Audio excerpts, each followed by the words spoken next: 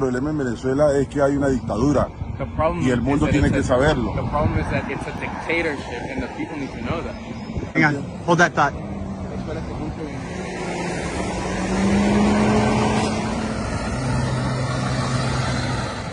As we're interviewing the uh, Venezuelan who's talking to us about the reality of socialism, had a bus just show up all day long here at the uh, San Antonio illegal migrant shelter. You've got buses coming in from Eagle Pass, from McAllen, from all over the border, coming straight here, dropping off to Catholic Charities and the city of San Antonio and shipping them from here all over the country every single day. Got a line up right here.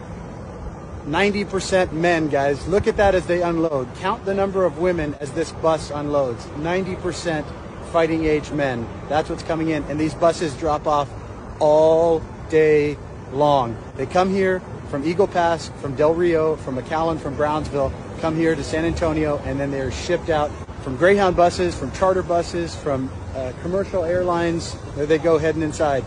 Charter airlines, trains, everything coming to your neighborhood.